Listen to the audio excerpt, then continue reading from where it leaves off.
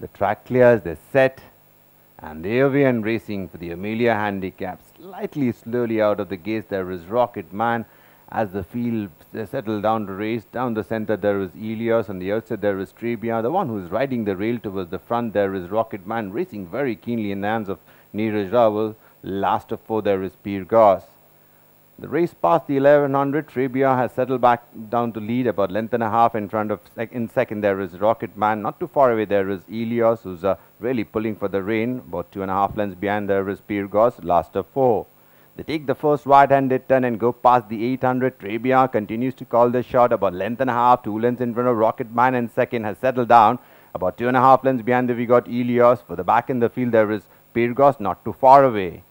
They pass the 600 now. The pace is, pace is moderate as they begin to take the turn now. It continues to be Trebia, about length and a quarter in front of Rocket Man. is getting a little closer in second.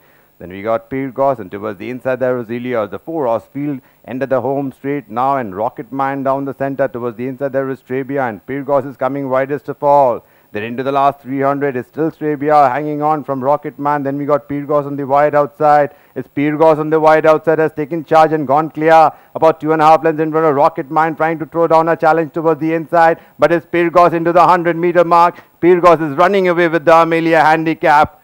It's all over. Peer Goss has got it from uh, Rocket Man in second and third. There is Trebia. Then we had Elios.